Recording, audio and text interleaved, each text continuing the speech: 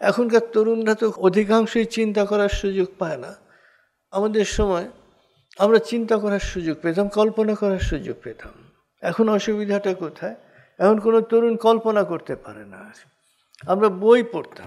ধরেন আপনি একটা উপন্যাসই পড়েন। উপন্যাস যখন পড়ছেন, পুরো দৃশ্যপটটা আপনি কল্পনা করছেন, আপনার ব্রেন কিন্তু অ্যাক্টিভেটেড হচ্ছে। আর যখন আপনি একটা ভিডিও দেখছেন, আপনার ব্রেনের কিছুই করার নাই। আপনি তার কল্পনা করতে পারছেন আপনি দেখে ফেলছেন।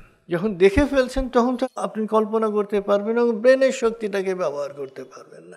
এই জন্য কী করবেন? বাচ্চাদের হাতে এই মোবাইল, স্মার্টফোন এগুলো দেবেন না আর কি। বাচ্চার বাচ্চা অটিস্টিক হয়ে যাবে আর কি। কারণ তো ব্রেন তো ডেভেলপ করবে না আর কি। তার তো কল্পনার কোনো প্রয়োজন, সবই দেখছে আর কি। সো ব্রেন বিকাম ইনঅ্যাক্টিভ আর কি। তো যখন আপনি একটা ভিডিও দেখছেন ব্রেনের কিছু করে নেই, আপনি সব কিছুই দেখছেন। আর যখন আপনি পড়ছেন, পড়ার সাথে সাথে ওই কল্পনা ওই দৃশ্যটা চলে আসছে ব্রেন ওই দৃশ্যটাকে কল্পনা করে ফেলছে। আচ্ছা এই ছিল আর কি। আচ্ছা নদীর ধারে বসে আছে। আচ্ছা কীভাবে বসে আছে? এইভাবে বসে আছে ব্রেন সাথে সাথে দৃশ্যপটগুলো কল্পনা করে নিচ্ছে।